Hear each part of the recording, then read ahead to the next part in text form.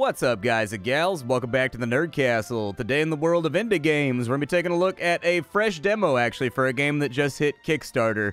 Normally, I don't cover Kickstarter games. I know I say that at the beginning of every video covering a Kickstarter game. I promise you it's selection bias. I turn down probably 99% of Kickstarter games just because I've been burned too many times. And, and I feel like it's the bro code move to do to not pass that burning on to you. I'm also aware of a lot of industry practices like publishers using Kickstarter as a promo tool when they don't even need the money. Like they will take people's money just to gauge like public interest as to whether or not they actually want to fully fund, you know, a game that they've already signed or anything else. Like there's a lot of people using it for ways it's not supposed to be used. Nonetheless, I, I, feel like every time I cover a Kickstarter game, I end up feeling like an idiot six months later. But today we're going to be taking a look at Trash Goblin. I did a little research about this game and its developers, and it seems like they are a very small team that actually needs the money. They don't have a publisher. They're actually doing all of this out of their own area. So uh, this is a game that is actually really intriguing to me. This is a game about a goblin that runs a pawn shop, basically. Not like a pawn shop, like almost like a, a, restoration shop. So adventurers bring you weird relics and things that are encrusted with like dirt and rust, and you've got to use like oil and, and, like little pins and things like that to like scrape them off and clean them. I have a I have a minor in paleontology, so like I've done this stuff in real life, and so it, it intrigues me. So let's go ahead and get started. If after watching this you wanted to check the game out for yourself, there is a link to the Kickstarter, but I highly recommend you look into the developer, you look into the publisher, you make sure they're not doing any of those publishing shenanigans that I just brought up a minute ago, because that's not a consumer's problem. Consumers shouldn't have to deal with that. Uh, but I will put a link down there. Hopefully this demo, tur- demo turns out to be rad. It seems like it's got a cool premise. You'll also find a link down there to my Discord and my Twitch stream where you can find me every day of the week. I haven't been streaming the last two weeks or so because Thanksgiving, in and out of town, lots of people flying in, needing to be picked up, stuff like that, constantly busy. And then I got the flu right after everybody got here. So it's been like a weird couple of weeks of non productivity. But I'm back now. My voice is recovering. I'm no longer, uh, you know, laying in bed all day with like a comically large ice bag on my head and a thermometer in my mouth. In this cozy shopkeeping game, you are a little goblin with big dreams. In the employ of Eamon, the kindly antique dealer who works upstairs, your goal is to sell trinkets and save up enough money to start your own archaeology business. Sacks of goblin knows what are delivered to your shop every single day. Chip the dirt off to find whatever is hiding underneath. Sell them as is, or spend some time cleaning them to hawk for a higher price once you've bought a sponge of course. Manage your time and make the most of every day, or just enjoy pottering in your cozy little space. It's up to you. Yeah, so one of the big taglines on the promo that they gave for this game was just that there's like there's no time limits. You can do whatever you want whenever you want. So this game is totally meant to be like a Zen experience where the sound of the chisel and you kind of like spraying dirt off of objects, you're just supposed to kind of sink into it. I thought that was a really unique idea that I hadn't really seen in a game before. So drag the sack onto the mat. Uh, with your left click, get ready for work, equip your chisel, and then use it on the sack. All right, so there's our sack. Put it right there, playing with my sack live. You got to take the low hanging fruit, chat. All right. You knew that joke was coming. As a YouTuber, you don't understand. You talk for a living for the last decade. You run out of stuff to talk about. So you got to take the easy wins, things like jiggling my sack on screen. You know, like you got to take the low hanging fruit. Otherwise, you, you just run out at a certain point. All right. So what are we doing here? Okay. So chip away Cruft. Oh, it's called Cruft to reveal the trinket. Chipping away will gradually reveal the trinket that's hiding underneath. If you chip any parts containing the trinket, they're marked automatically. Rotate the whole lump by dragging with right click. Okay, so we can kind of like click that right there. Ooh. Okay. Nice satisfying little noises right there. There it is. Uh, looks like we found ourselves just an old, just an old trash bottle. Just you know, Grandpa's old bottle of wild turkey. All right. Uh, when you so little things with the demo right there, just a little observation. The pick should come off your hand when you finish the object and go back onto the workbench. It wouldn't let me. It wouldn't. It left my cursor the little chipper until it actually moused over like a context box. You're going to want to clean that up by removing the tool entirely and reverting the player's cursor back to a cursor. Uh, it just feels janky the way that you've got it right now. Congratulations, you got your first trinket. You can store it in a stash by dragging it over and dropping it in. You can left click on the stash to open it to check out your hoard and drag stuff back out. Can I take this like off my hand? Like, how do I drop this? Apparently, I right click over on the other side of the desk. So we can take this bottle and we just put it inside the stash. Oh, I like the little stash, how it's actually like a little illustrated book. That's kind of cool. All right, uh, so put the sack in the middle. And what's next? Oh, this one's a little bit more complex. Align the trinket. Oh, you can kind of like hit it from different directions. All right. All right, so what do we have here? Couple chips right there. Looks like it's elongate. And I think the rest is probably disposable. If I destroy the support, it does. I was wondering how I get rid of that. So, like that thing right there, my chisel isn't hard enough to destroy the black rock. I was wondering that if I destroyed the, the structure, basically with like physics and architecture, if it would just fall off. It does, so that's how you eliminate it. So a little bit of like a puzzling feel to it too. So we have ourselves a, a okay, we'll continue. We got ourselves a hairpin. Kind of a fancy hairpin, too, if we're being honest. All right. You've used up all your time today. Every time you uncover a trinket, you use up a time slot tracked in the UI in the top left corner. You can buy and sell what you find, talk to NPCs, explore the workshop. Okay. Uh, let's put that down on the desk over there. There we go. Perfect. And then we'll take this over here. We'll drop it inside of our stash. And what does this do over here? We've got a customer. All right.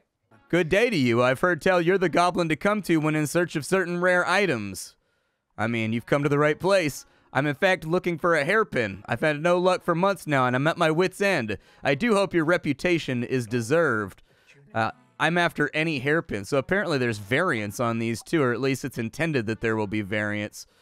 All right, well there's your there's your hairpin right there. Yeah, that's fine. Deal. That's what I'm talking about. Oh, look at the cute little portrait that swaps out. It's a fair price. I just really like this a lot. Thank you. For sale. So drag. Oh, we actually get like a, a pouch of coins too. That's kind of cool. There we go. So we get like a sack of money and then we just throw it in there. Nice, dude. Okay, I like the interactivity of it. Like I like the fact that like you you actually have to pick up the sack of gold and like move it into your inventory. Like little actions like that they add to the minutia of the game, which in a lot of games, if you're trying to go like action, action, action, would kind of count as a detriment. But in the case of a game like this, where it's a little bit of like a power wash simulator or a little bit of like a viscera cleanup detail type game, the little minutia is actually what draws the player in and turns it into more of kind of like an immersive sim. And so I dig that. What else we got around here? So we can go talk to a shopkeeper Hey, Goblin. What's up, boss man? Uh, told you before, I don't like it when you call me boss. This is a partnership. The boss of yours has a lovely old sponge if you're after one. Okay, sure, yeah. It'll be a hundred bucks if my math is right. How much? Gotta spend to earn. That's what they say. Let's go for it. Here you go. You'll make better use of it than me. A hundred bucks, like a hundred pieces of gold for a sponge? That says a lot of things about the overall cleanliness of this universe that are highly concerning. Uh, don't forget, I'm taking the wagon on that trip for a couple of days, so take care of the shop while I'm away. All right, cool, man. Uh, so there's our sponge. We got ourselves an sponge. Uh, the sponge, you'll be able to clean trinkets up and then you can sell them for even more gold. Goblins don't do crunch, so you've done everything that you can do for today. Navigate to your personal space and sleep. All right, to my personal space. Bro, that looks super uncomfortable. I live in a hole in the wall? Man. That's got to be terrible for your lumbar, dude. My S1 is screaming right now. All right, day two is here. What do we want to do? Let's go to the workbench. So how many things have been dropped off? Let's go ahead and take the sack right there. We'll take that. We'll break something new out. And it looks like we've got... It looks like those need to be, like, sliced down the middle. Oh, I thought from the shape we were going to need some... See how there's a line right there when you highlight it? I figured... Oh, it's ice. Okay, there was a line down the middle like on that one right there. So I figured maybe there'd be a different tool, like a little angle grinder or something. You go, to get that one off right there. I definitely think there should be a lot of tools in this game. Like, there should be, like, a big chunk of them. Uh, for, like, different tiles and nodes and things that need to be gotten rid of. Introduce almost like a little I suppose, deductive puzzle aspect to it almost. Okay. What do we have here? Hey, it's a big old war. I mean, it's either a drinking horn or a war horn. Is there a hole in the end? All right, so we'll take that right there. I'll, I'll figure it out. So we'll put that back over there. And I kind of wanted to look at the horn and see if it had a hole in it or not, but I guess not. All right, so we got the sponge. And if we got the sponge... Oh, you actually scrub the dirt off of it. Okay, I thought it was going to be like an animation or something. Where like the sponge here effectively just like use the sponge on it and then it magically becomes clean like all by its lonesome, you know, like all at once. I didn't realize I was to have to actually get in there and scrub. All right, let's get in there and. I just scrubbed my bathtub like a night ago. My shoulder's still tired from it, man. It's more tiring like scrubbing the sponge off like the curvature of a bathtub than you would figure, man. Like your arm like I work out quite a bit. And after about 10 minutes, my arm was exhausted because you got to really get in there, man, with that sponge. You got to wipe that stuff out. Hey, the horn's all nice and done. All right, so we got it cleaned up. Let's go ahead and put the sponge back over there. I would recommend that no matter where you are with the sponge, if I right click, it should automatically come out of my hand and just zoop go back over to its spot on the workbench. It's weird that you've got to mouse over over here to put it down without any kind of like spot or indicator. So like when I pick that up, it's got an indicator underneath it. When I pick this up, it doesn't. So it's difficult to see like the depth of how far in that you're holding it. And so, anyways, I, I, would recommend just let the player drop it from wherever it is in their hand to, you know, drop it on the workbench. So there's our horn. What else we got in the bag today? What other goodies? Oof, this one's all scunged up. All right. Let's go around the outside. There we go. It's pretty satisfying when you get those little chain reactions like that where it's like doop, doop, doop, doop, doop. It's got like a, a Peggle vibe to it almost. I don't know if you guys are Peggle fans, but I'm like a huge Peggle fan when it comes to good sound design in video games. Like, good sound design is absolutely one of those things that really gets screwed up a lot in gaming and Peggle is like a master's class in sound design for making a game that's just got all those little clunks and dunks and things that sound good while you're playing it and give it like a very real tactile. What does that thing do? Oh, okay. Oh, there's like a, oh, it's got like a, okay. All right, it's got like a, there, there's a sweet spot. I'm trying to keep it family friendly. You discovered grandma's egg. Dude, I've seen Berserk. That's not, we don't want, uh, we don't want that in our inventory, bro. That right there is a concerning artifact. Yep, I've seen Berserk. I know where this goes. All right, let's scrub this thing off. Grandma, we'll clean your head a little bit right there. It feels like, you know, like when you're doing the dishes and normally you can use like the entire flat of the sponge to clean like a flat surface area but when you get to like a curve or like a nook or like a cranny you've got to kind of like fold the sponge up on top of your index finger to really like dig in there and go get it with like your fingernail almost. It feels like that's what the sponge is doing right now. Like it feels like we've got that angularity to it that we're trying to scrape off all right, so I've got most of Grandma's domer clean. Grandma's apparently been getting herself into trouble, getting all kinds of dirty out here, rolling in mud as grandmas do. There we go, all fixed up. Put the sponge back. Put the sponge back down. There we go. Sponge has been put back down, and then we drop the grandma egg in there. Oh, we've got more work to do today. Fair enough. All right, what do we have going on here? What you got for me? Uh, we got to find the sweet spot on those guys right there. Luckily, it was pretty easy to find. It looks like there's our main object, so we can get kind of aggressive about the cleaning on these other sides. All right. So if you can find the little geode nook on the edges of these.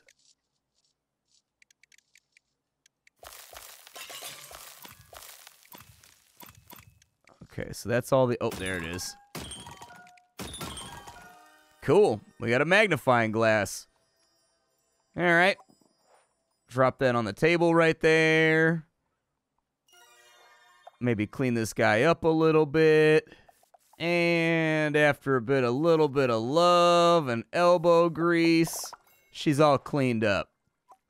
All right, drop her back over there. How we looking as far as like time goes? So I'm actually, I guess there's different phases of the day while we're working on this. Yeah, it looks like it's almost sundown. All right, let's run one more. And then we'll talk to customers. Oh, we're out of time. We can't do that. All right, then. Uh, let's go see what customers we've got. That's totally not. That's is that our boss in a mustache? Hit me with it.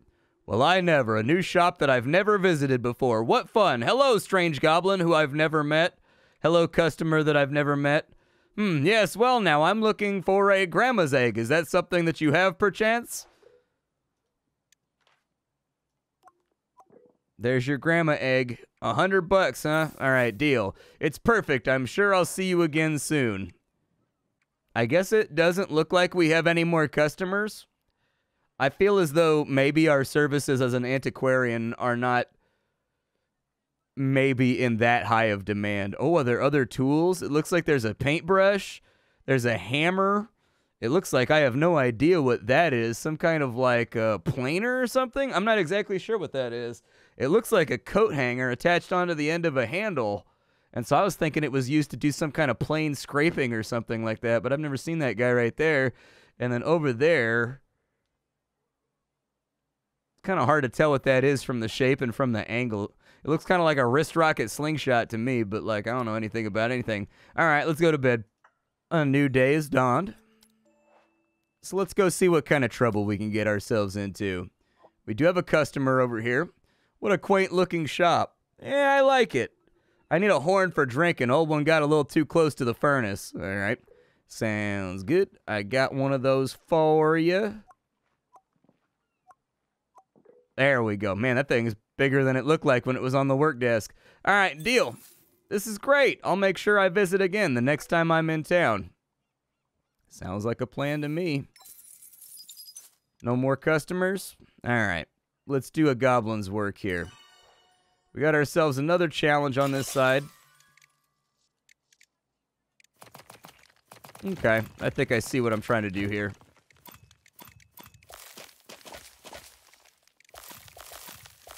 Yep.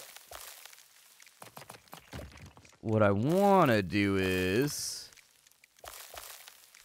Well, I was hoping I would not have to go all the way around the horn, but we have to reveal the weak spot on those purple tiles. There it is.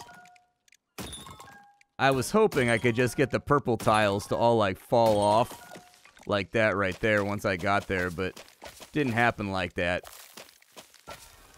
All right, so we've got, oh, a bedpan. Beautiful. Just exactly what I wanted to find.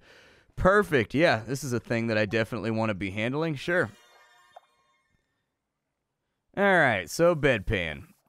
Let's go ahead and scrub it on. Let, let's scrub this one extra good. Honestly, I think you might want to break out the Ajax for this one.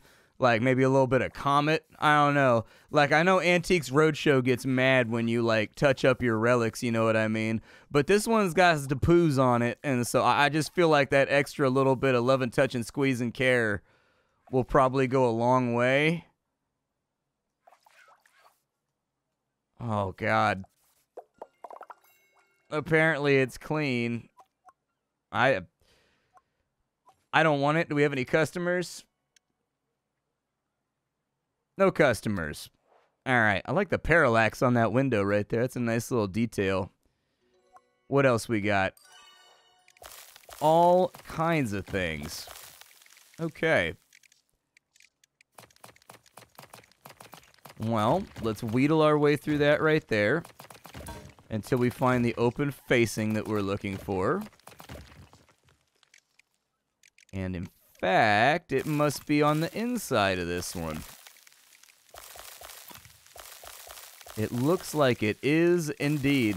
What a remarkably zen little game. Uh, that's pretty much the way that I would describe it. It's definitely going to need some more depth and it's going to need some more detail, like a lot more tools and like little things you need to do uh, that it slowly unfolds on you until you're getting to things that are like you know the the thing that I would look at for this game actually I think a really really really good game to look at for this to blueprint after it'd be Hardspace Shipbreaker. If you break it down to core constituent parts, this is quite literally Hardspace Shipbreaker. Hardspace Shipbreaker is also a game that really has no time limits. You can take as long as you want. You can work as hard or as lazy as you want. You know, you can pull whatever shifts you want. But it's got the narrative component. Every single morning when you get up occasionally your coworkers will come by and they sort of like speak in your ear while you're working on things and let you know what's happening in the world. Like it's got sort of like this emergent storyline that starts to unfold all around you while you're doing these mundane tasks like disassembling space thrusters. This game is pretty much the same thing. You're doing a mundane task in a shop you know cleaning up artifacts effectively. And these artifacts would be a really really good gateway for characters you meet and things to start filling in the world and like chatting you up while you work on this, just you know, with voiceovers, so that you don't have to like read subtitles or anything, but hit you with like voice dialogue that's like happening while you're going through this, and then you got to like sit down the sponge to like respond to them and stuff like that. And like if you're trying to get something done a little bit more quickly, you can get irritated with them or. You know, I'm trying to work here. Come on, I'm working here. This appears to be a very, very fancy helmet, is what it looks like to me. That or like a ceremonial headdress or something for like a festival or something. I don't know. It's kind of hard to say. A little bit right there. Oh, there it is. It's on the side of the horn. It's got a noose coming off its forehead. So what was that?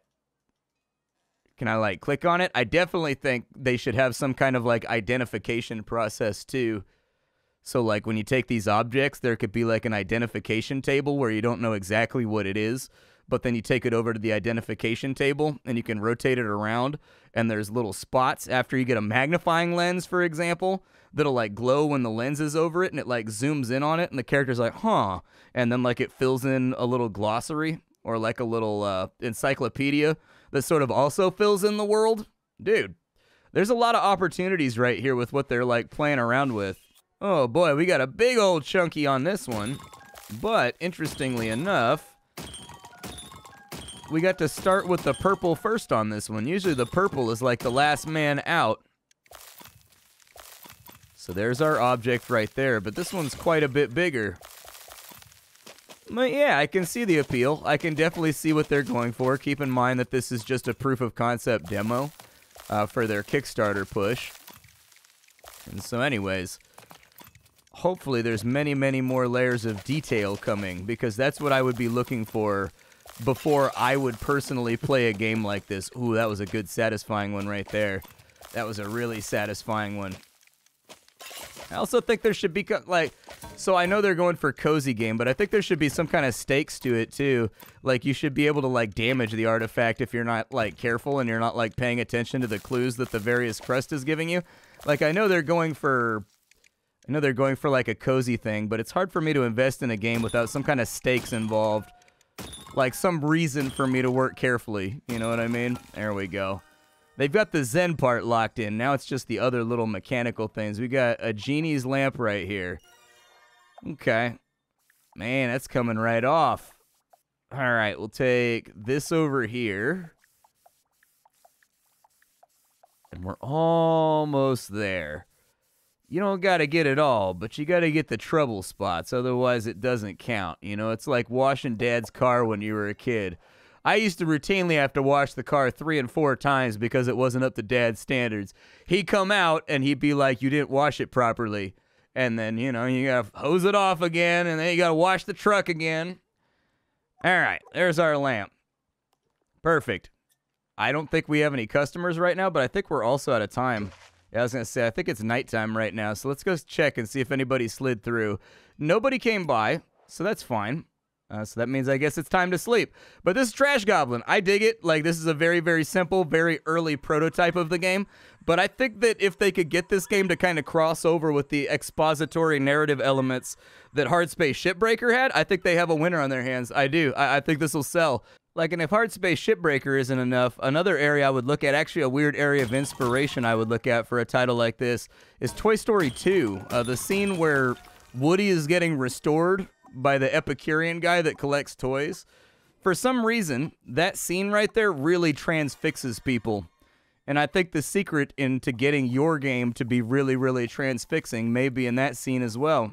There's also lots of little details in the background, like you can take the cork out of the bottles, for example, and move them around. You can turn the lights on and off. There's a bunch of little things. Add more interactivities like those. Like when I click on the pot, it jingles and makes like a satisfying pottery noise. When I click on the coins, they kind of like stand up for a second, then roll and go wobble, wobble, wobble, wobble, back down onto the table. Little things like that are a good sign, even in a little tech demo like this. So that's stuff all taken into account. I think this will definitely sell to somebody. I don't know if it's the kind of game that I would play. I, in general, do not enjoy cozy games like at all because I need some kind of like stakes or I need some kind of like external force pushing down on me in order to motivate me to do a good job. Otherwise, I just get like lazy about it. So without like bills to pay or without like the ability to totally like ruin a relic on accident with interconnected systems that you have to do in the right order, sort of like the pressure systems and the electrical systems uh, from something like Hardspace Shipbreaker. I don't know how hard I would stick to it, but this is definitely something that someone would play. This this definitely has that feeling to it. I get the feeling it's got a market out there. And so like that would be my advice for me personally is like add more stakes to the game, but I know explicitly that's not what they want to do because of the press uh, kit they sent on over said that this is meant to definitely be like a at your own pace, you can't fail kind of game where you just kind of pass time and fix up little relics and things. And that's okay. Uh, this game is called Trash Goblin. It's on Kickstarter right now. You can go check it out. Uh, my name is Splattercat. I sift through the pile to find what's worthwhile in the world of indie games every single day so you don't have to. Today up on the chopping block, we were uh, dissecting some of these little relics out here in Trash Goblin. Tomorrow we'll be doing something else. Thank you for spending time with me, and that's about all I got. Bye, folks.